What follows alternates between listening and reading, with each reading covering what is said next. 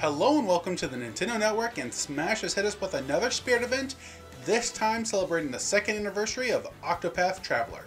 And honestly, it is well deserved. The game is a great play for fans of classic JRPGs, and even the individual stories are pretty great. I just wish they intertwined more, but I digress. We got four new spirits, each containing a pair of the travelers, so let's get ready to travel around the world. This is every Octopath Traveler Spirit Battle Explained. The Alfyn and Therion spirit is represented by Sheik and Dr. Mario. Sheik is Therion the thief, as thieves are meant to be unseen and quick. Sheik will also favor using Needle Storm and Burst Grenade to act as Therion's dagger and fire-based abilities. Dr. Mario is Alfyn, an apothecary who heals and helps others in need. He will favor using his neutral special Mega Vitamins to act like Alfyn's ability to make potions in the midst of battle. The floor is also poison, and not to the concoction Alfyn can make. Some heal, and some can attack the opponents, including poisoning them. Along with that, melee blows will heal them. You it out on Distant Planet, most likely referencing Clearbrook, Alfyn's hometown, while Save the World Heroes plays, a track from Find Me 2 and fits well with the theme. The Tressa and Cyrus spirit is represented by a female villager and a male Robin respectively.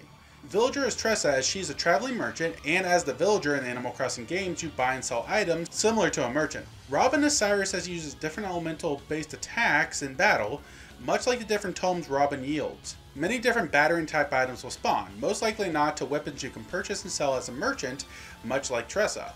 High winds will also plague the stage, a nod to Tressa using wind based attacks mostly. You fight it out on Luigi's Mansion, a nod to Cyrus's journey looking for a lost tome from the far reaches of hell. Spooky book, spooky level. It fits.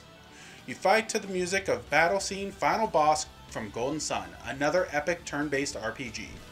The H'aanit and Ophilia spirit is represented by Pit, Palutena, and Wolf. Pit is H'aanit, as H'aanit's primary weapon is a bow, and the Pit will favor its neutral special, Palutena's bow.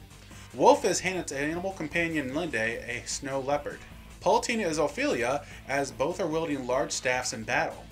At high damage, they will all be healed, and nod to Ophilia being a healer in the game. Their ranged abilities are buffed, again a nod to H'aanit and her main weapon being a bow. They can also hit you with random critical hits, a nod to the fact that that can happen while in battle in this game and pretty much every other RPG out there. You battle it out on Summit, meant to represent Frostlands, the home of Ophelia. Battlestart Fossil Fighters Frontier Plays, another RPG-like game, so it works. The Olberic and Primrose Spirit is represented by Bayonetta while in Colosseum. Bayonetta is Primrose, who was a dancer. Probably a bit more than a dancer as the game alludes to, but remember, Smash is for good boys and girls, so we can't say anymore. And Bayonetta does like to dance a lot.